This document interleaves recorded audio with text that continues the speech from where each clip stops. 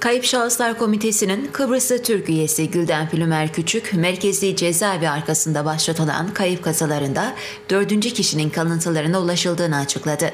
Gülden Pülümer Küçük, Türk Ajansı Kıbrıs'a yaptığı açıklamada çalışmalara başlayalı kısa bir zaman olduğunu ve henüz bölgede bulunabilecek kayıp sayısı konusunda bir şey söylemeyi erken bulduğunu kaydetti.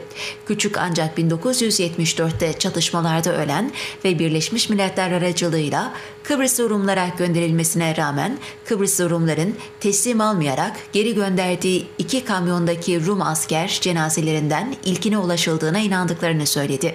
Gülden Pülümer Küçük dün yaptığı açıklamada söz konusu bölgede gömülü olduğu bilinen kişilerin 1974 Lefkoşa'da yer alan çatışmalarda ölen Kıbrıs Rum askerler olduğunu, bu askerlerin o zaman Birleşmiş Milletler vasıtasıyla iki kamyon içerisinde Güney Kıbrıs'a verilmek istendiğini ancak Güney Kıbrıs'ın bunu reddedince bir gece bekletildikten sonra söz konusu bölgeye defnedildiklerini söyledi.